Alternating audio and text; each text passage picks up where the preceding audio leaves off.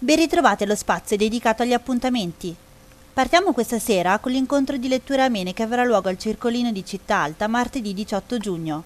Lo scrittore spagnolo Pablo Dors presenterà il suo affascinante libro Avventure dello stampatore di Zollinger. Alcuni brani saranno letti dall'artista Diego Bonifaccio, appuntamento alle 18. Passiamo ora a un altro evento che si terrà invece mercoledì 19 giugno. Gli allievi della scuola di teatro Erbamil presenteranno uno spettacolo teatrale intitolato Molto rumore per nulla, liberamente tratto dall'opera di William Shakespeare. Appuntamento all'Auditorium di Ponteranica alle 21, l'ingresso è libero. Continua l'appuntamento con la musica a Bergamo, il Summer Sun Festival del Lazzaretto ospiterà per la serata di martedì 18 giugno Niccolò Fabi. L'evento si concluderà mercoledì con la band folk rock italiana I Marta sui tubi. Ancora musica a Bergamo per gli appassionati di pianoforte.